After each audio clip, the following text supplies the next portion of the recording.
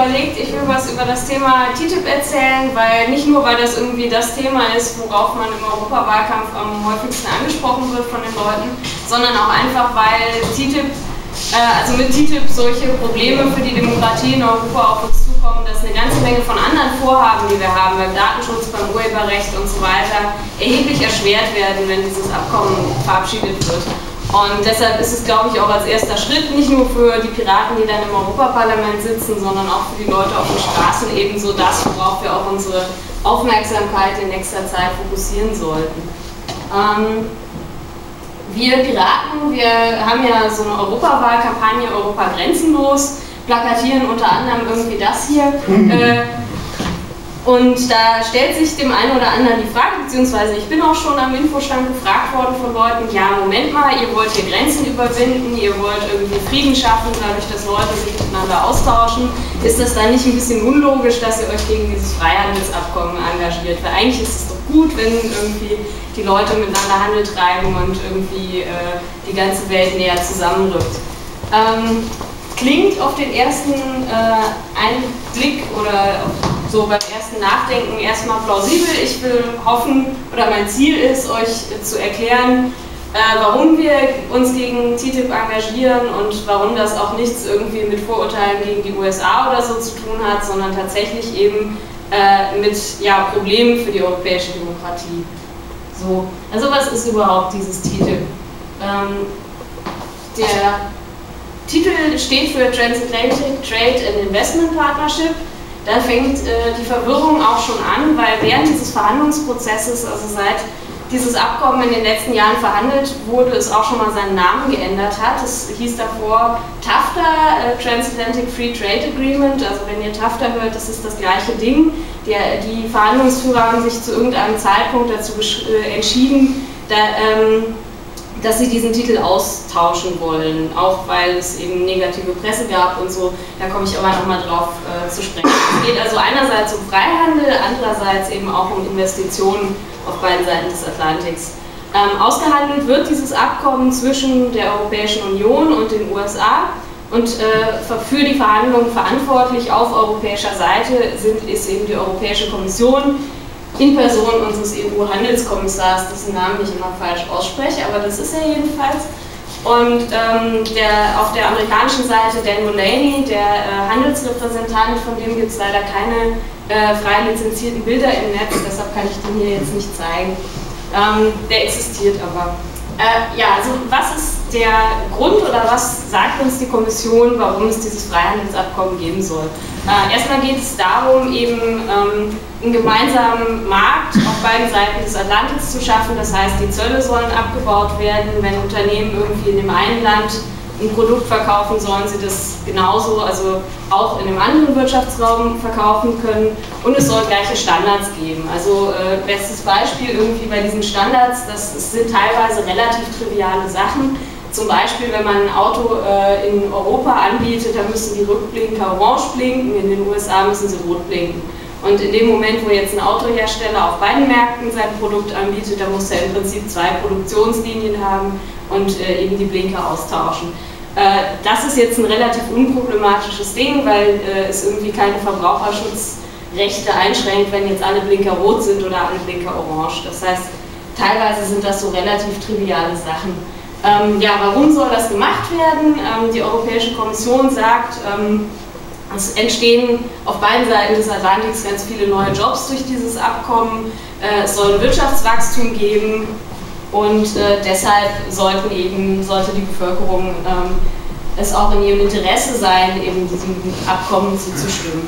Äh, Soweit, das ist das, was man meist äh, eben auch einerseits von der Kommission, aber eben auch von Angela Merkel und von Barack Obama äh, hört, wenn sie irgendwie verhandeln und über TTIP reden.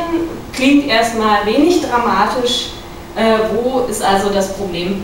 Ähm, zunächst mal muss man diese, äh, ja, diese, diese Ansagen über das Wirtschaftswachstum und äh, die Jobs tatsächlich in Frage stellen. Also äh, die Europäische Kommission bezieht sich da meist auf äh, eine relativ kleine Zahl von Studien, die in Auftrag gegeben wurden, einmal vom Bundeswirtschaftsministerium, äh, andere, das andere von der Europäischen Kommission selbst.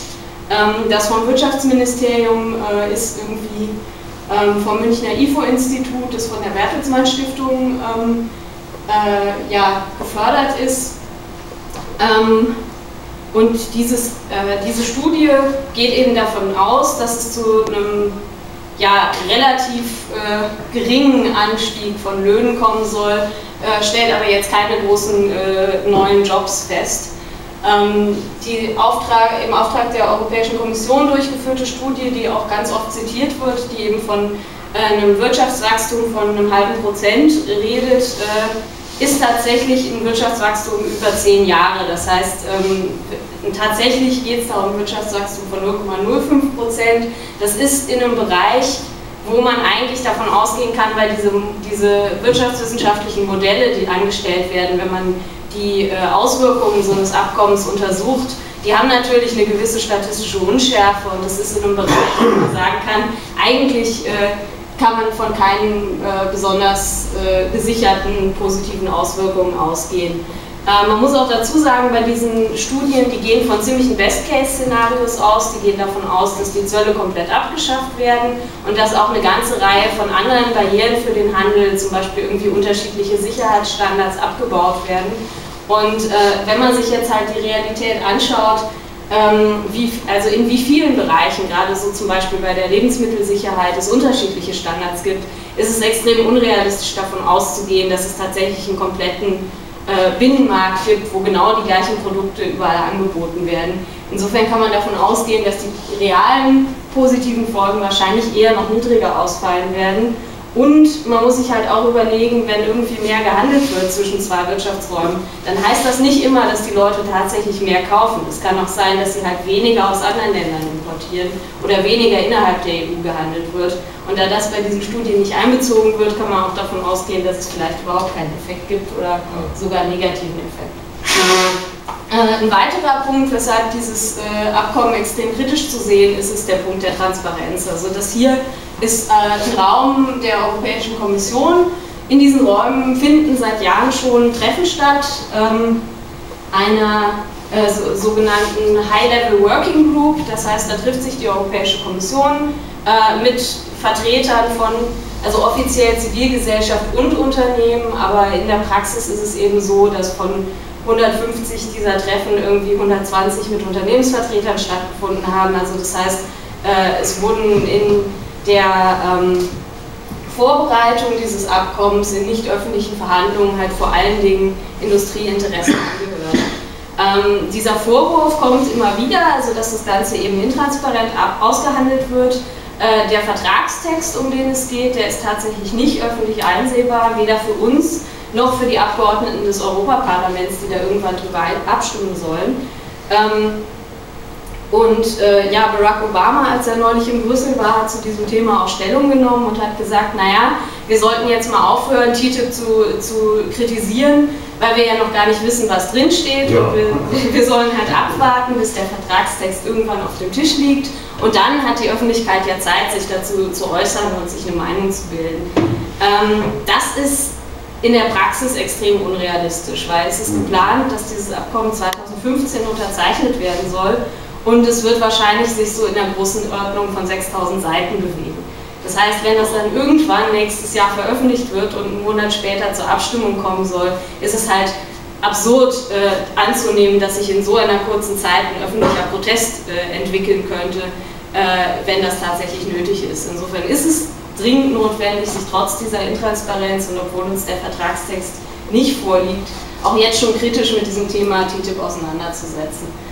Ähm, wie, also äh, wie schon gesagt, das Europaparlament und auch die Handelsausschüsse der nationalen Parlamente, die haben keine Einsicht in diese Akten. Es gibt einen Unterausschuss für, äh, also im Handelsausschuss des Europaparlaments, die zumindest nach jeder Verhandlungsrunde von der Europäischen Kommission gebrieft werden, Fragen stellen können, aber sie müssen sich dann eben auch auf die Aussagen der Kommission verlassen und äh, bekommen eben nicht den tatsächlichen Vertragstext, auf den es eben ankommt. Ähm, am Ende wird auf jeden Fall das Europaparlament diesem Vertrag zustimmen müssen, damit er in Kraft tritt. Allerdings, also ob äh, der Deutsche Bundestag oder womöglich sogar der Bundesrat zustimmen wird, das wissen wir erst, wenn der Vertragstext vorliegt, weil, erst dann können wir sehen, ob äh, Rechte von Mitgliedstaaten betroffen sind oder nicht. Ähm, ja, weiterer Punkt, weshalb man sich, äh, also weshalb sich jetzt schon viele NGOs äh, mit diesem Thema beschäftigen, ist der Verbraucherinnenschutz. Und ihr habt bestimmt irgendwie das, das Stichwort Chlorhühnchen schon mal gehört. Ähm, das ist natürlich eine relativ leichte Art und Weise, ganz viele Leute gegen dieses Abkommen zu mobilisieren, zu sagen, dann kommen die, äh, die Chlorhühnchen aus den USA auf unsere Teller. Ähm, ich halte es aber für eine etwas gefährliche äh, Argumentationsweise. Also nicht nur, weil es womöglich irgendwie so Anti-Amerikanismus weckt, weil genauso auf der anderen Seite des Atlantiks haben die Leute halt irgendwie Angst, dass äh, äh, europäische Finanzmarktstandards, die teilweise niedriger sind, eben in den USA übernommen werden oder dass äh, äh, BSE-Fleisch auf ihre Teller kommt, wo sie wiederum strikte Regeln haben. Also es ist nicht so, dass die Standards der EU in jedem einzelnen Punkt höher sind als die der USA.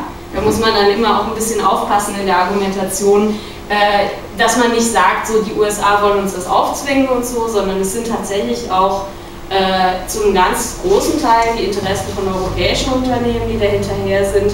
Gerade die deutsche Automobilindustrie hat ein ziemlich großes Interesse daran, dass dieses Abkommen verabschiedet wird. Also nur ähm, sowas, ich glaube, äh, die, die Chlorhühnchen sind wahrscheinlich nicht so der springende Punkt bei der ganzen Sache.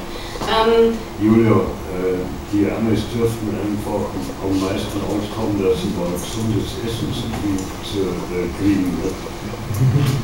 Ja, ich würde halt genauso nicht argumentieren. ähm, also äh, ganz einfach, ich, ich versuche es ein bisschen zu erklären. Ähm, das Problem ist halt, es könnte passieren, dass irgendwann, irgendwann muss der Vertragstext ja veröffentlicht werden und es könnte passieren, dass dann kein Wort zu Chlorhühnchen oder zu GMOs oder zu irgendwas drinsteht, weil natürlich die Kommission auch nicht ganz blöd ist, die will dieses, äh, diesen Vertrag verabschieden und äh, die wissen auch genau, was für Stichworte den öffentlichen Protest triggern. Und es kann eben sein, dass sie bewusst bestimmte Dinge, die besonders kontrovers ausklammern, die dann aber durch die Hintertür trotzdem reinbringen. Ähm, das sieht man halt auch daran, wie sich die Verhandlungspartner teilweise schon äußern, also dass irgendwie sowohl ähm, der EU-Handelskommissar als auch Barack Obama irgendwie in öffentlichen Statements sagen, also es wird auf keinen Fall eine Absenkung von Nahrungsmittelstandards geben und solche Geschichten. Ähm, aber das Problem ist, ähm, ja, die, die Verhandlungsparteien sind nicht ganz blöd. Die haben auch bewusst zum Beispiel den Namen von, äh, von äh, TAFTA in TTIP geändert, weil TAFTA klingt halt so ähnlich wie NAFTA oder auch wie ACTA. Äh, alles eben Abkommen, äh, die ja negative Assoziationen wecken und sie wissen eben auch, dass dieses Chlorhühnchen inzwischen wirklich zum Inbegriff dieses Protests geworden ist. Und insofern kann es sehr gut sein, dass sie sich hüten werden, irgendwelche Standards äh, wirklich in den Vertragstext festzulegen. Ähm, was sie stattdessen tun werden, das, äh, aus diesem Bereich ist halt schon an die Öffentlichkeit gedrungen. Ähm, es gibt einen Leak von einer Verhandlungs, äh, internen Verhandlungsdokument der Europäischen Kommission, aus dem hervorgeht, dass ähm, der, die TTIP Regelungen zur sogenannten regulatorischen Kooperation beinhalten soll. Äh, ich selbst spiele irgendwie in meiner Freizeit Rollenspiele und da ist es so, wenn Leute versuchen irgendwas zu machen, was eigentlich so nicht vorgesehen ist und was die anderen Spieler auch nicht mal haben wollen, wenn man so ein Powergamer ist, dann äh, fängt man an, über die Regeln zu diskutieren und irgendwelche Hausregeln einzuführen oder so. Oder genauso äh, macht man das teilweise mit irgendwelchen Satzungs- und Geschäftsordnungsdiskussionen. Das heißt, ähm, was passieren soll bei TTIP, was eben aus diesem Leak hervorgeht, ist, es soll ein, ein, sogenanntes lebendes Abkommen oder Living Agreement sein. Das bedeutet ein Vertrag, der sich nach der Verabschiedung selbst weiterschreibt. Ähm, in TTIP werden äh, Regeln und Institutionen geschaffen, die darüber entscheiden, wie in Zukunft neue Regulierungen äh, verabschiedet werden können. Äh, insofern kann es halt sein, dass äh, in dem Vertrag erstmal nichts zu Chlorhühnchen und GMOs und so weiter gesagt wird, aber dort eben festgelegt wird, was die Europäische Kommission alles tun muss, wenn sie in Zukunft irgendwelche Verbraucherschutzregeln oder irgendwelche Umweltschutzregeln anpassen muss. Und diese äh, Regeln sind halt sehr zum Vorteil von großen Unternehmen gestaltet.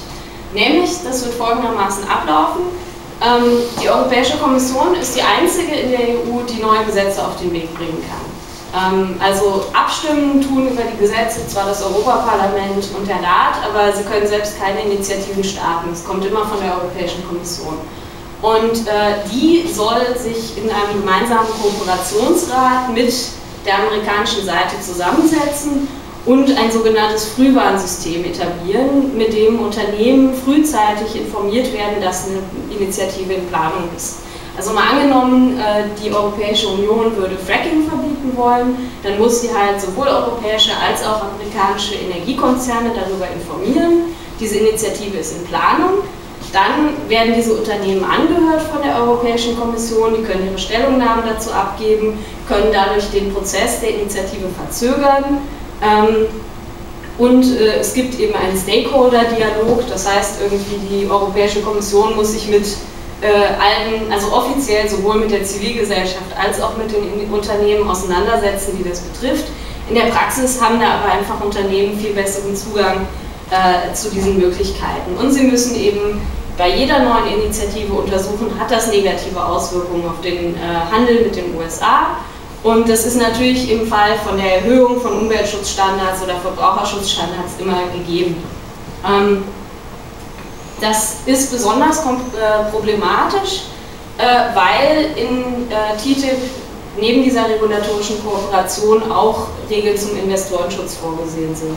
Das wird auch in den Medien im Moment schon relativ stark kritisiert. Also Investorenschutz bedeutet, in dem Fall, dass sich Unternehmen, die von einem neuen Gesetz äh, sich äh, ja, davon ausgehen, dass die Umsatzeinbußen bedeuten, eben gegen dieses Gesetz klagen kann vor einem privaten Schiedsgericht. Ähm, das gibt es teilweise schon in Deutschland. Also Deutschland ist zum Beispiel äh, in den 90er Jahren der Energiecharta beigetreten. Das ist so ein internationales Abkommen, das Investorenschutz für den Bereich Energie vorsieht. Und äh, nach dem ähm, Reaktorunglück von Fukushima haben wir hier in Deutschland den äh, Atomausstieg beschlossen im, im, Bundestag. Und daraufhin hat Vattenfall eben als ein ausländischer Investor in den äh, Kernenergiebereich Deutschland auf Schadensersatz verklagt vor so einem ähm, privaten Schiedsgericht, dem sogenannten ICSID. Und ähm, dieses Verfahren läuft immer noch. Ich glaube, es geht um ungefähr 4 Milliarden Euro, die Deutschland eben an Vattenfall als Entschädigung dafür zahlen soll, dass die ihre Atomreaktoren nicht weiter betreiben dürfen. Ähm, es gibt auch in anderen Handelsabkommen eben äh, Beispiele dafür, wie sich dieser, dieser private Investorenschutz eben negativ auf Verbraucherschutzgesetze äh, auswirkt. Äh, Im Rahmen des Freihandelsabkommens NAFTA in, äh, ähm, in Amerika, da sind unter anderem eben die USA und Kanada Mitglied, gab es einen Fall konkret zum Thema Fracking. Ähm, da hat äh, der Staat Quebec in äh, Kanada ein Moratorium verhängt auf Fracking. Das heißt, sie haben noch nicht mal Fracking verboten, sondern sie haben einfach nur gesagt, okay, Fracking wird ausgesetzt für einen bestimmten Zeitraum und während dieses Zeitraums werden wissenschaftliche Untersuchungen angestellt, ob Fracking schädlich ist. Dagegen hat eben Lone Pine Resources, ein amerikanischer äh, Gasförderkonzern, geklagt. Das Verfahren läuft auch immer noch. Also das heißt, ähm, das ist so, so eine äh, Möglichkeit fördert natürlich unverantwortliches Handeln von Regierungen, weil, sie, weil, es eben einen Grund gibt, solche Maßnahmen wie zum Beispiel so ein Moratorium, was ja der Sicherung, der Sicherheit der Bevölkerung dienen soll, eben nicht zu machen, weil sie eben damit rechnen müssen, dann verklagt zu werden. Ähm, ein anderer Fall, der auch ganz interessant ist, äh, ist der Fall von Philip Morris gegen Australien. Ähm, Australien hat äh, ein Gesetz verabschiedet, dass auf Zigarettenpackungen solche Warnhinweise abgedruckt werden müssen und dass eben ähm, die äh, Verpackungen neutral designt werden müssen, um eben, also dass man nicht mehr so offensiv mit Zigaretten werben darf. Ähm, Philip Morris hat im Rahmen des Freihandelsabkommens zwischen Australien und Hongkong dagegen ge geklagt. Äh, das ist insofern ganz interessant, dass Philip Morris eigentlich ein amerikanischer Konzern ist, aber sie haben, äh, weil eben es Investorenschutz in einem Freihandelsabkommen zwischen Australien und Hongkong gibt, haben sie ihre Hongkonger Tochterfirma genommen mhm. und dann mit dieser Firma Australien verklagt. Ähm, Es gibt noch eine ganze Reihe weiterer Fälle, äh, irgendwie zum Beispiel auch im Rahmen von NAFTA. Mexiko hat eine Steuer auf so Mais-Sirup eingeführt, weil der halt extrem gesundheitsschädlich ist und dagegen haben dann irgendwie erfolgreich auch ähm, US äh, so Softdrink-Hersteller geklagt. Da ist es auch tatsächlich dann zu Schadensersatzforderungen gekommen.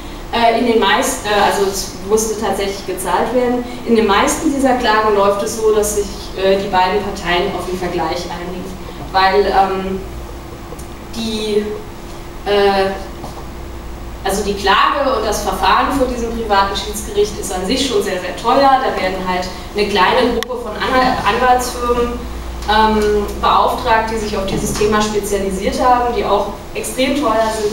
Und deshalb ist es meistens im Interesse der Regierung, es überhaupt nicht zu einem, Gerichts, also zu einem Entscheid vor diesem Schiedsgericht kommen zu lassen, sondern im Vorfeld schon so eine Art äh, ja, Entschädigung zu zahlen, um eben das Unternehmen dazu zu bringen, die Klage zurückzuziehen. Das heißt, es fließt in den meisten Fällen Geld, obwohl es überhaupt nicht zu einer Entscheidung gekommen ist.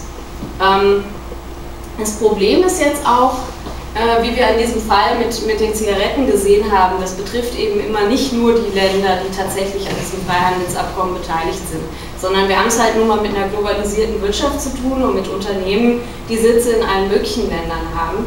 Und deshalb ist es halt sehr problematisch, dass sich hier durch diese Abkommen zwischen einzelnen Ländern im Prinzip so ein weltweites Netz aus einzelnen Freihandelsabkommen äh, aufspannt. Und jedes Land ist in eine ganz Vielzahl von denen involviert. Und das macht es auch extrem schwierig, da irgendwann wieder auszusteigen, weil halt immer auch äh, alle Vertragsparteien das dann aufkündigen können müssen.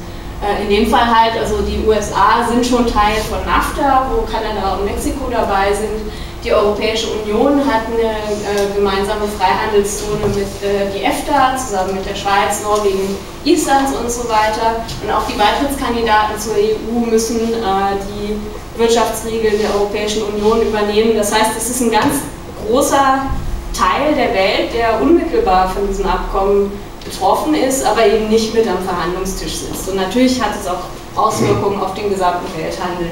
Ähm, insofern kann man das auch grundsätzlich diskutieren, dass da die beiden größten Wirtschaftsräume der Welt im Prinzip miteinander intransparent Regeln aus äh, ähm, verhandeln, die letzten Endes Auswirkungen auf die gesamte Weltwirtschaft haben. Ja, Riesenmauschelei. Ja, ähm, ich, also ich selber bin Politikwissenschaftlerin und mir geht es auch bei diesem ganzen ähm, Thema Demokratie-Upgrade, Demokratisierung der EU, was mir sehr am Herzen liegt, darum, äh, die Möglichkeiten offen zu halten, dass wir das überhaupt machen können. Und man muss sich immer, äh, gerade bei diesen Abkommen, die extrem komplex sind, angucken, was machen diese ganzen äh, problematischen Aspekte in der Kombination. Und das muss man sich echt mal äh, überlegen bei TTIP. Also erstens, Initiativrecht in der EU hat nur die Europäische Kommission. Das heißt, es gibt keinen anderen Weg, zum Beispiel ein europäisches Datenschutzgesetz oder ein europäisches Umweltschutz auf den Weg zu bringen, es sei denn, die Europäische Kommission startet das. Die, äh, mit TTIP wird die Europäische Kommission eben verpflichtet, immer erstmal Unternehmen anzuhören. Das heißt, äh, die haben an der Stelle einen privilegierten Zugang zur Gesetzgebung und werden einbezogen zu einem Zeitpunkt noch vor äh, den gewählten Vertretern im Parlament und noch vor der Öffentlichkeit. Und diese Unternehmen bekommen ein Klagerecht über diesen Investorenschutz. Äh, was würde ich jetzt machen, wenn ich meinetwegen Facebook bin äh, und die EU will irgendwie eine Verschärfung des Datenschutzes verabschieden? Ähm, ich könnte damit äh, drohen, dass ich eben im Fall der Verabschiedung dagegen klagen würde, weil natürlich werde ich da als ausländischer Investor diskriminiert, weil ich kann mich ja nicht an so hohe Datenschutzstandards halten wie ein europäischer Konzern, weil ich ja gesetzlich verpflichtet bin, der amerikanischen Regierung bestimmte Daten herauszugeben zum Beispiel.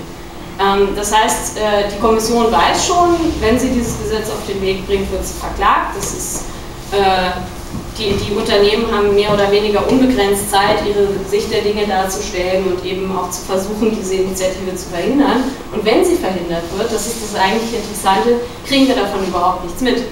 Weil die Initiative wurde ja noch nicht gestartet. Das heißt, äh, diese, das öffnet im Prinzip den Weg für einen Lobbyeinfluss, der neue Verschärfungen von Verbraucherschutz verhindert, ohne dass es darüber irgendeine öffentliche Kontrolle gibt, weil das halt komplett am Parlament vorbei passiert. Insofern kann man davon ausgehen, dass eben nach TTIP nur noch Initiativen der Europäischen Kommission überhaupt das Parlament erreichen, die von der Tendenz her eher unternehmensfreundlich sind und eher zu einer Liberalisierung des Marktes führen. Und das schränkt natürlich die Möglichkeiten des Europaparlaments im Interesse der äh, Menschen in Europa irgendwie äh, Schutzstandards zu erhöhen, extrem ein. Ähm, ja, warum macht es eben trotzdem Sinn, äh, sich da jetzt im Europäischen Parlament genau mit diesem Thema zu beschäftigen. Äh, lustige Anekdote am Rande zu diesem Bild, also das ist das Europäische Parlament in Straßburg. Ähm, das darf man nicht fotografieren und ins Netz stellen, weil äh, in Frankreich der europäische, äh, der Architekt dieses Gebäudes Urheberrecht auf die Fotos hat. Ähm, das ist auch äh, so ein Ding, auch einer der Gründe, weshalb ich mich für ein europäisches Urheberrecht einsetze, weil es eben im Moment eine ganze Menge von wirklich absurden Sonderrechten auf nationaler Ebene gibt. Äh, hier in Deutschland zum Beispiel die GEMA-Vermutung, dass sie einfach davon ausgehen kann, dass äh, äh irgendwelche Lieder von Künstlern grundsätzlich von der GEMA vertreten werden.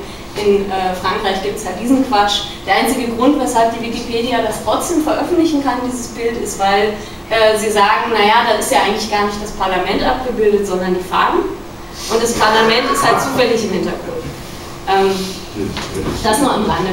Aber also das Europaparlament ist das einzige Parlament, von dem wir sicher wissen, dass es TTIP stoppen kann. Ähm, wir wissen nicht, ob die nationalen Parlamente über TTIP werden abstimmen dürfen. Das hängt von dem Vertragstext ab. Aber seit dem Vertrag von Lissabon hat das Europaparlament das Recht, solche internationalen Abkommen zu ratifizieren oder eben im Zweifelsfall auch abzulehnen.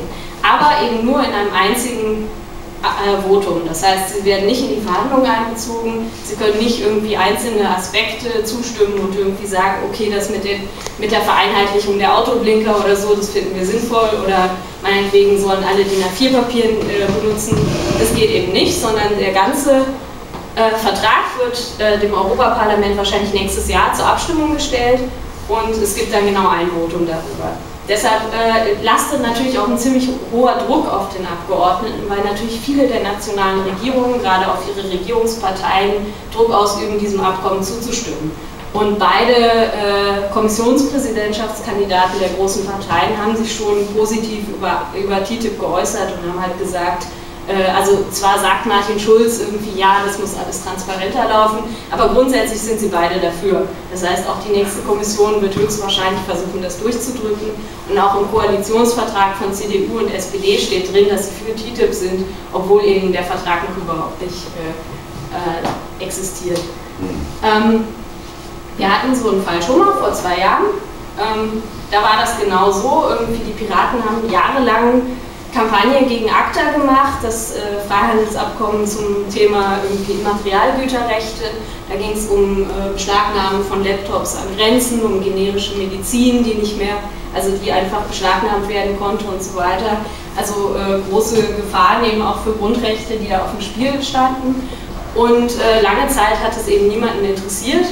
Ähm, wir hatten aber eben zwei äh, Europaabgeordnete von den schwedischen Piraten im Parlament, die die ganze Zeit an diesem Thema gearbeitet haben und äh, die auch, äh, also Amelia Andersdotter, eine von den beiden, war auch für die Grünen-Fraktion im Europaparlament zuständig für dieses Thema. Und äh, sie hat es eben geschafft, über geschicktes Verhandeln mit den anderen Fraktionen und gestärkt durch diese internationalen Proteste, ähm, die dann irgendwann sich auch tatsächlich entfacht haben, äh, nach und nach die ganzen Fraktionen irgendwie auf ihre Seite zu ziehen. Und äh, insofern ist die Ablehnung von ACTA nicht ganz unwesentlich auch äh, den Piraten im Europaparlament geschuldet, ähm, weil halt der federführende Ausschuss im Prinzip der, der dem Abstimmungsvorschlag der Piratin äh, gefolgt ist in dieser Frage. Das, wäre, das hätte aber nicht funktioniert, wenn es eben nicht diese äh, im Prinzip weltweiten Proteste gegen ACTA gegeben hätte. Und äh, ich denke, genauso wird es auch gegen TTIP laufen. Im Moment äh, kann man ganz gut sehen, was passiert. Es regt sich so ein bisschen Widerstand und äh, die Europäische Kommission versucht einzelne Aspekte dieses Abkommens abzustoßen, um das ganze Ding zu retten. Also zum Beispiel, ich glaube, also es ist nicht ganz unwahrscheinlich zum Beispiel, dass der Investorenschutz aus dem Abkommen rausfliegen wird und dass die Europäische Kommission und auch die USA versuchen werden, eben dieses Abkommen durchzubringen, dadurch, dass sie eben den kontroversesten Teil rausnehmen. Aber auch ohne das äh, ist TTIP eben insgesamt eine Gefahr für die Demokratie und muss abgelehnt werden. Insofern ist es wichtig, dass wir auch als äh, ja, Menschen, die sich gegen TTIP engagieren, darauf vorbereitet sind, auf die Möglichkeit, dass die typischen Kritikpunkte gegen TTIP, wie zum Beispiel die Chlorhühnchen oder der Investorenschutz, womöglich in dem letztendgültigen Abkommen so nicht drinstehen werden. Ähm, man kann dann natürlich trotzdem damit argumentieren, es ist bei ACTA ein bisschen auch so gelaufen, letzten Endes. Die großen Proteste gegen ACTA, die fingen an äh, in äh, Polen, hier in Deutschland hat die Mobilisierung ganz viel über YouTube funktioniert. Und da war so ein Video im, Auf, im Umlauf, was so ein paar, naja, äh, kreative Auslegungen der Realität drin hatte und äh, nicht jede Aussage, die gegen ACTA damals so äh, proklamiert wurde, war auch völlig korrekt. Insofern kann man sich überlegen, also man kann sich schon als Hühnchen verkleiden und durch die Innenstadt rennen, aber ich finde es trotzdem wichtig, dass uns bewusst ist, äh, dass es halt bei ACTA um mehr geht, äh, bei TTIP um mehr geht als nur um diese Chlorhühnchen und dass wir auch verstehen, was es eben für Gefahren für, für das Gesetzgebungsverfahren und für die Fähigkeit der Europäischen Union überhaupt in Zukunft noch irgendwelche Gesetze zu verschärfen, was das bedeutet. Ähm, Nochmal kurz zur Zusammenfassung, also was wollen wir Piraten denn anders machen? Ähm, Im Gegensatz zu zum Beispiel den Grünen sagen wir, diese Verhandlungen müssen komplett gestoppt werden. Also wir wollen eigentlich überhaupt kein äh, Freihandelsabkommen zwischen EU und USA, sondern wir sind der Meinung, also Freihandel an sich ist schon in Ordnung, aber das muss mit allen äh, Parteien passieren, die tatsächlich von so einem Abkommen betroffen sind. Das heißt, es muss eine äh, breite Beteiligung der Parlamente geben, von Anfang an die gesamten äh, Vertragsdokumente müssen offenlegen während des gesamten Verhandlungsprozesses die Zivilgesellschaft muss vernünftig in diesen Verhandlungsprozess eingebunden werden und natürlich auch äh, Entwicklungsländer. Also es kann nicht sein, dass die beiden größten Wirtschaftsräume der Welt das im Prinzip unter sich ausmachen und einfach durch die normative Kraft des Faktischen globale Standards setzen, an die sich dann alle anderen zu halten haben. Das heißt, äh, wir wollen einen multilateralen Ansatz, wo eben auch äh, Entwicklungsländer mit am Verhandlungstisch sitzen und deren Interessen eben dann auch in diesen Aushandlungsprozess einfließen. Wir halten es grundsätzlich für sinnvoll, wenn es gemeinsame Standards gibt, zum Beispiel irgendwie, äh, dass alle Handys die gleichen Aufladestecker haben oder sowas, aber es geht eben äh, um sehr viel mehr bei TTIP und es ist wichtig, dass da eben nicht nur die europäischen und die amerikanischen Wirtschaftsinteressen vertreten sind. Ähm, wir versuchen auch dieses Thema irgendwie so ein bisschen kreativ aufzugreifen, zum Beispiel, dass wir eben diese Idee des Living Agreements äh, als äh, Undead Agreement äh, verwurstet haben. Also wir haben so einen Zombie-Walk gemacht in, äh, in Berlin, wo wir halt auch gesagt haben, also TTIP ist im Prinzip so ein, äh, der, der auferstandene ACTA-Zombie und dann halt irgendwie geschminkt durch die Straßen laufen. Das sind so Sachen, wie man vielleicht auch so dieses typische Massenprotest-Ding mal ein bisschen auflockern kann. Äh, ich hoffe da aber auch auf eure Ideen, wie man dieses ganze Thema irgendwie ein bisschen ein bisschen plastischer machen kann, ohne halt die ganze Zeit nur auf den Hühnchen rumzureichen. Mhm. Und äh, ganz wichtig ist natürlich, also, dass es die, die Kombination geben muss. Auf der einen Seite von den breiten Protesten auf den Straßen unter Einbeziehung von allen möglichen NGOs und äh, auf der anderen Seite aber eben auch, dass wir die, die Europawahlen ernst nehmen, weil das Europaparlament ist letzten Endes die einzige Institution, die TTIP auch in der Praxis durch ein Votum stoppen kann. Ja, das wäre es von mir. Äh, ich freue mich auf eure Fragen.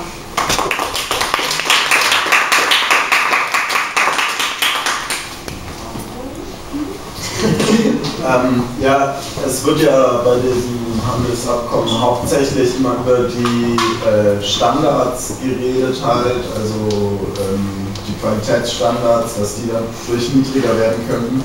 Aber es sollen ja, soweit ich weiß, auch irgendwelche Zölle abgebaut werden und ähnliches. Hätte das nicht volkswirtschaftlich auch noch ganz andere Auswirkungen? Also dass zum Beispiel so ein Lohndumping-Wettkampf entsteht zwischen Europa und den USA. Und also ich glaube, es ist relativ, äh, die, also die Auswirkungen der äh, Abschaffung von Zöllen wären relativ gering, weil die durchschnittlichen Zölle zwischen EU und USA im Moment schon extrem niedrig sind. Also die liegen über 3%.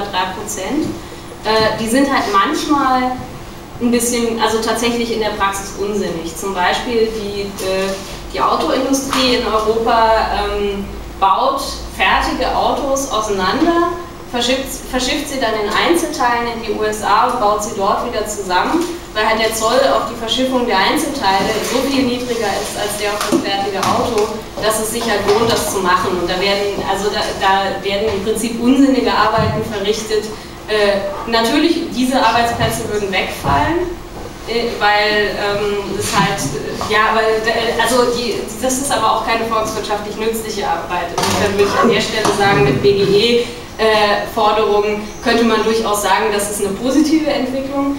Ähm, insgesamt ist es aber überschaubar, weil äh, also die Zölle sind tatsächlich nicht so groß und äh, die, also auch diese wirtschaftswissenschaftlichen Studien, ähm, die sehen immer irgendwie die größeren Auswirkungen tatsächlich durch den Abbau von, von äh, nicht Zollhandelshindernissen, also so äh, die gleichen Sicherheitsstandards und solche Geschichten. Ähm, ich glaube, das Lohndumping oder das äh, Runterwettbewerben von, von Standards, das äh, passiert eher durch einen anderen Mechanismus, nämlich äh, wenn man zwei Handelszonen irgendwie, äh, ähm, ja, also wenn man eine Freihandelszone schafft, dann gibt es im Prinzip zwei Möglichkeiten. Entweder man macht Harmonisierung, das heißt, äh, wenn jetzt der eine rote Blinker hat und der andere hat orangene Blinker, dann entscheidet man sich dafür, dass entweder alle orange sein müssen oder alle rot. Das ist Harmonisierung. Die andere Möglichkeit ist äh, äh, gegenseitige Anerkennung der Standards. Das würde bedeuten, okay, eigentlich müssen in der EU alle Blinker orange sein, aber äh, es gibt eine Sondergenehmigung für amerikanische Unternehmen, auch rote Blinker auf dem europäischen Markt zu verkaufen. Das wäre der andere Ansatz. Und ähm, wenn man sich die Dokumente der Europäischen Kommission durchliest, dann spricht vieles dafür, dass sie den zweiten Weg gehen werden. Und äh, das Problem, also das hat zwei Probleme. Erstens, ähm, es gibt jetzt einen Anreiz für, für äh, die Regierung auf beiden Seiten, ihre Standards zu senken, weil sie dann eben den heimischen Unternehmen einen Wettbewerbsvorteil verschaffen, weil die mit den niedrigen Standards auch in den USA handeln können. In den USA passiert das Gleiche, die senken ihre Standards wieder unter den europäischen Standard, um ihren Firmen Wettbewerbsvorteil mhm. zu verschaffen. Das heißt, da gäbe es dann innerhalb der EU und innerhalb der USA einen Wettbewerb nach unten. Gleichzeitig wäre es ein Nachteil für alle anderen, weil die sich immer noch äh, an beide Standards halten müssen. Also wenn jetzt ein Unternehmen, das in Asien sitzt, äh, sowohl in den USA als auch in äh, Europa Handel treiben muss, dann muss es eben äh, zwei verschiedene Autos bauen und dorthin äh, verschiffen. Das heißt, ähm, wenn es tatsächlich so kommt, dass es eben keine echte Harmonisierung gibt, und das spricht viel dafür, dann gibt es halt negative Auswirkungen einmal auf die, äh, auf die und Verbraucherschutzstandards innerhalb äh, der EU und der USA. Gleichzeitig gibt es Nachteile für den Handel in anderen Bereichen der Welt. Ja. Also ich finde es immer wichtig, äh, hast du vorhin schon angesprochen, dass man immer im Auge behält, dass es auch auf europäischer Seite Interessen gibt, die absolut dafür sind. Zum einen eben die, äh, der Finanzmarkt, vor allem aus England, die ja wirklich sehr daran interessiert sind, weniger harte Standards in den USA fahren zu können. Und der zweite Punkt ist, wenn ich das, mich nicht alles täuscht, haben die äh, Amerikaner schrecklich Angst vor Rohmilchkäse. Also das ist so ein bisschen das, was unser Klohühnchen ist. Ähm, sondern also die Amerikaner sind in dem Fall nicht der Feind, sondern ganz, ganz viele Amerikaner wollen das eigentlich genauso wenig. Ja, also ich finde es auch wichtig, dass wir, wenn wir diese Proteste aufbauen, dass wir mit den amerikanischen Verbraucherschutzorganisationen zusammenarbeiten, uns auf internationale Protesttage einigen und solche Geschichten, weil ähm, das hat halt bei ACTA extrem gut funktioniert. Die die Proteste sind im Prinzip aus zwei verschiedenen Richtungen gekommen. Einmal gab es diese, ähm, dieses Aufteilen von Protesten in Polen, die viel dazu geführt haben, dass sich das dann halt auch in der EU verbreitet hat. In den USA gab es aber gleichzeitig eine Protestbewegung, die aus dem Widerstand gegen SUPA und PIPA kam, also diese Internetzensurgesetze, die es da kurz vor der äh, Ablehnung von ACTA gab. Und äh, leider wurde es aber versäumt, dass die danach sich wirklich vernetzt haben. Also da gibt es unterschiedliche ähm, äh, NGOs, also halbwegs gut funktioniert es ironischerweise bei den Globalisierungskritikern, die sind halbwegs vernetzt. Ähm, ja, also ich weiß nicht, ich finde, ähm, gerade als, als eine Partei, die irgendwie aus dem Internet kommt, ist es mäßig sinnvoll, wenn wir die Globalisierung an sich kritisieren, weil die ist in einer äh, gewissen Weise einfach Fakt. Also uns Piraten gäbe es ohne die globale Vernetzung auch nicht. Es gibt halt einen globalisierten Handel. Was wir jetzt machen müssen, um dem was entgegenzusetzen, ist halt auch globalere demokratische Strukturen schaffen und eine globale Öffentlichkeit, damit wir dem irgendwas entgegensetzen können. Und da ist es halt ganz wichtig, dass wir eben bei diesen Protesten gegen TTIP uns nicht irgendwie gegen die Amerikaner positionieren, sondern halt gucken, äh, das ist äh, letzten Endes ein Konflikt zwischen Unternehmensinteressen und der Bevölkerung auf beiden Seiten des Atlantiks und da müssen wir auch zusammenarbeiten. Soll heißen, nicht, dass, nicht die Globalisierung ist das Problem, sondern die Spielregeln? Also, naja, die Globalisierung hat das Problem schon ausgelöst, aber die werden wir halt nicht rückgängig machen, würde ich sagen. Aber dass die Globalisierung eher, sage ich mal, von Märkten auch ausgeht und für Märkte gut ist als für Menschen. Ja, klar, also ich meine, das kann man, kann man kritisieren. Ist halt, also, was ist die Konsequenz daraus? Und ich glaube, die, also die Konsequenz die Globalisierung irgendwie zurückzudrehen. Kann man machen. Ich halte es halt gerade für uns Piraten für sinnvoller, dass wir sagen, okay, wir versuchen uns auch global zu vernetzen und äh, eben äh, globalere demokratische Strukturen aufzubauen und zum Beispiel eben auch dem Europaparlament mehr Rechte zu geben, damit äh, wir eben ähm, zum Beispiel beim Datenschutz äh, den Unternehmen was entgegensetzen können. Also äh, beim Datenschutz ist es jetzt halt so, irgendwie Facebook stellt seine Server nach Irland, äh, weil dort halt die Steuern niedrig sind und der ähm, Datenschutz niedrig ist.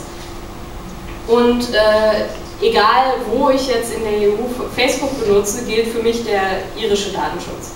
Und äh, Irland hat daran auch überhaupt kein Interesse, das zu ändern, weil äh, die wollen ja nicht, dass die Unternehmen dort wegziehen. Mhm. Insofern. Im Augenblick gibt es aber die Initiative, das Steuerrecht zu ändern in Irland ja. das auf ein EU-Niveau anzugleichen. Ja, aber ich könnte mir vorstellen, dass äh, eher liberale Parteien äh, in Irland da wahrscheinlich was dagegen haben werden, weil sie sagen, dann ziehen die Unternehmen mehr weg. Also das ist halt immer so das Standardargument. Facebook baut gerade neuen Server in Finnland. Mhm. Meines Wissens, wir wollen da hinziehen dann im nächsten Fall. Da ja. sind dann dafür die äh, Kühlungskosten so billig, dass es sich wohl wieder rentiert. Ja. Nee, äh, also worauf ich hinaus will, ist, äh, wenn wir es halt schaffen, dem Europaparlament Kompetenzen in solchen Bereichen zu geben, wie zum Beispiel Vereinheitlichung von Steuern oder wenn wir es schaffen, einheitlichen Datenschutz zu verabschieden, dann kann es halt diesen Wettbewerb nach unten innerhalb der EU so nicht mehr geben. Und wir hatten jetzt gerade ein Urteil des Europäischen Gerichtshofs, dass sich Google an europäisches Datenschutzrecht halten muss. Äh, das bedeutet natürlich auch, wenn es in der ganzen EU den gleichen Datenschutz gibt, dann haben diese Unternehmen die, die Wahl, entweder sie halten sich an die Gesetze oder sie zahlen Strafen oder sie treiben keinen Handel in der EU. Und es ist, denke ich, klar, dass ein Unternehmen vielleicht sagen kann, okay, äh, Belgien ist mir egal, dann biete ich mir da halt meine Dienste nicht an, aber halt einen Markt von 500 Millionen Menschen zu ignorieren, das wird kein Unternehmen machen. Insofern hat man dann auch eher eine Handhabe, wenn man auf europäischer Ebene solche Verbraucherschutzstandards anlegt. Mhm. Ich habe eine allgemeine Frage.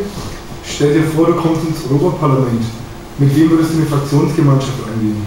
Ähm, wir haben von den europäischen Piraten eine Selbstverpflichtung unterzeichnet, dass wir ähm, diese Fraktionsverhandlungen gemeinsam führen werden. Das heißt, äh, ich bin jetzt die, die von allen Piraten am sichersten reinkommt. Wenn ich jetzt irgendwie sage, ich gehe zu der und der Fraktion, dann äh, fände ich das ein bisschen unfair.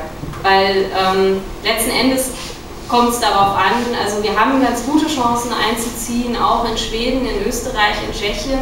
Und die sind von der politischen Ausrichtung durchaus unterschiedlich. Also die, äh, die österreichischen Piraten sind eher links, die tschechischen Piraten sind eher libertär. Wenn ich jetzt sage, äh, irgendwie da soll es hingehen, äh, dann schwächt das unsere Position und dann gebe ich damit eben auch den Piraten, die noch gar nicht sicher drin sind, die Richtung vor.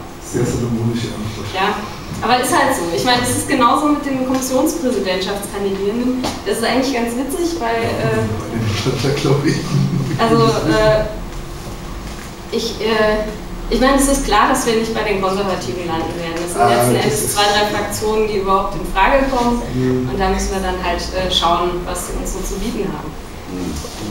Okay. Ich habe mal auch allgemeine Frage, welchen Stellenwert hat bei der Europapolitik, bei der künftigen Sozialpolitik? Also mir ist wichtig, ich werde dann auf einmal möglicherweise 500 Millionen Mitbürger haben. Wie verständige ich mich?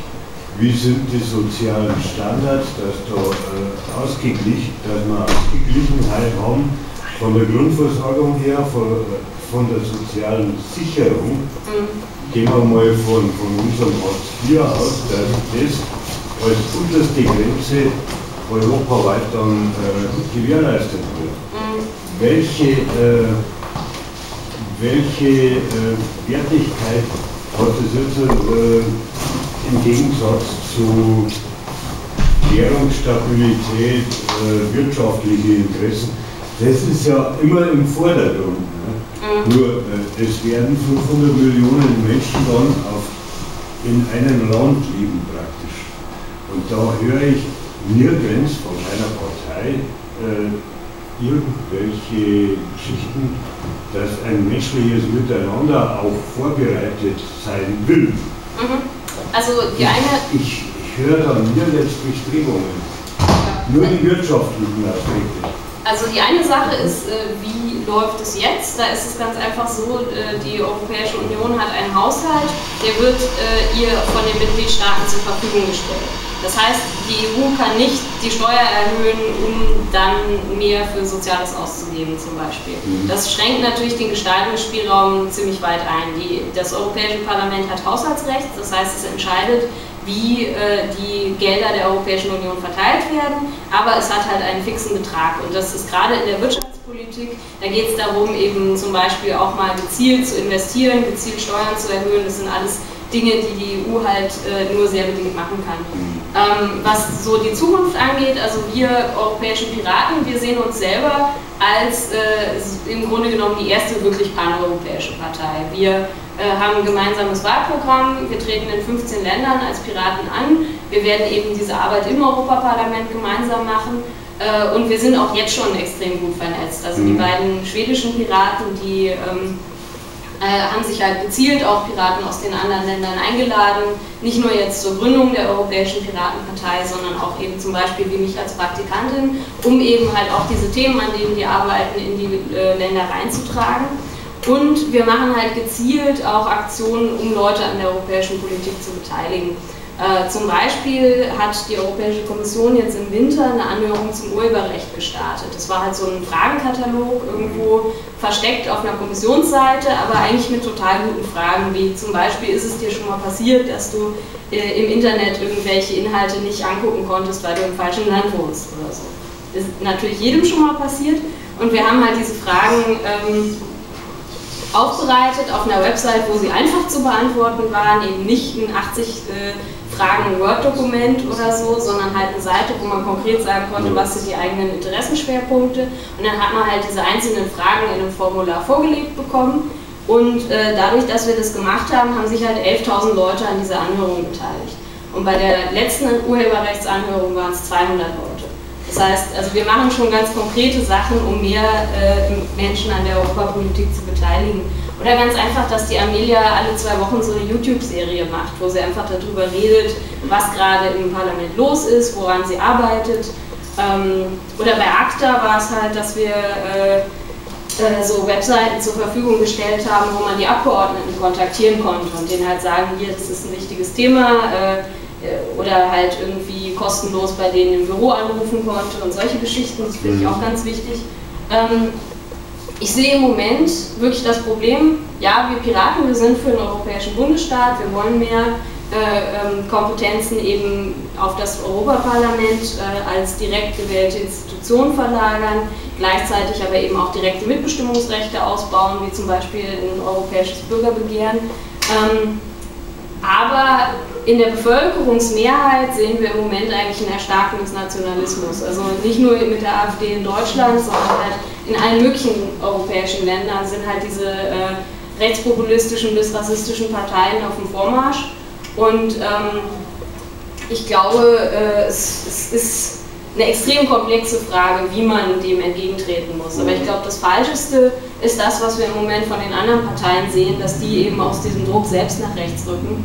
Ähm, weil äh, ich denke, es ist halt auch Teil irgendwie äh, ne, also damit es überhaupt sowas wie einen demokratischen Meinungskampf gibt, dürfen sich die Parteien halt nicht von sowas in die Ecke drängen lassen, sondern müssen halt klar äh, ihre, ähm, ihre politischen Ziele vertreten. Zum Beispiel die Grünen, in deren Grundsatzprogramm steht, sie sind für einen europäischen Bundesstaat, in ihrem Wahlprogramm steht es nicht. Die grüne Jugend hat es beantragt, das reinzuschreiben und es wurde halt abgelehnt mit der Begründung, äh, das sei ja nicht mehrheitsfähig in der Bevölkerung. Das ist halt genau der falsche Weg. Und insofern finde ich das auch richtig, dass die Piraten äh, betont so einen proeuropäischen Wahlkampf fahren und eben nicht sagen, wo wir überall dagegen sind, sondern halt auch konkret, wir sind für den europäischen Datenschutz, wir sind für den Ausbau der europäischen Demokratie und da eben auch einfach Gegenakzente setzen. Äh, ganz kurz, äh, die CSU ist meines Erachtens äh, das beste Beispiel nicht, für, die, für die Abwanderung nach rechts. Ja.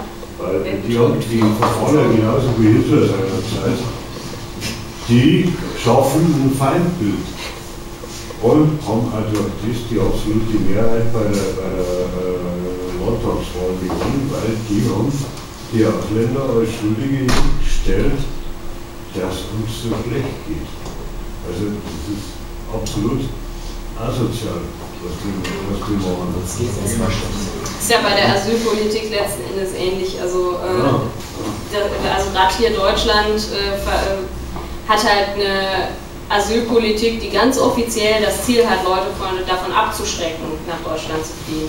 Und natürlich, äh, da gehören dann halt so Maßnahmen dazu wie Arbeitsverbot, und ja, wenn man Leuten halt verbietet zu arbeiten und sie mehr oder weniger jahrelang in so einem Limbo festhängen lässt, natürlich äh, hat das negative Auswirkungen auf die Integration und äh, hat soziale Probleme zur Folge. Und diese sozialen Probleme kann man dann wieder nutzen, um äh, äh Asylsuchende als Feindbild aufzubauen. Ja, für eine mal. Ganz klare Frage. Ähm, es muss Regeln geben für äh, Leute, die zuwandern. Und da braucht man gesamteuropäisch einfach zu sagen, wir haben die und die Gesetze und dies und jenes ist zu beachten, dass da mal Klarheit reinkommt. Ich glaube, unsere Gesetzgeber haben schon Jahrzehnte versäumt, einfach klare Regeln also ich weiß nicht, ich würde sagen, es muss, es muss Regeln geben für die Integration und es muss Zuständigkeiten geben. Aber also wenn man sagt, klare Regeln für die Zuwanderung, das klingt halt so, als ob man bestimmte Leute nicht reinlässt. Und das halte ich für falsch. Also ich glaube nicht, dass äh, die, also ich halte es für, äh, ich halte offene Grenzen durchaus für machbar und glaube nicht, dass die EU darunter leiden würde. Aber es muss halt Zuständigkeiten vor Ort geben.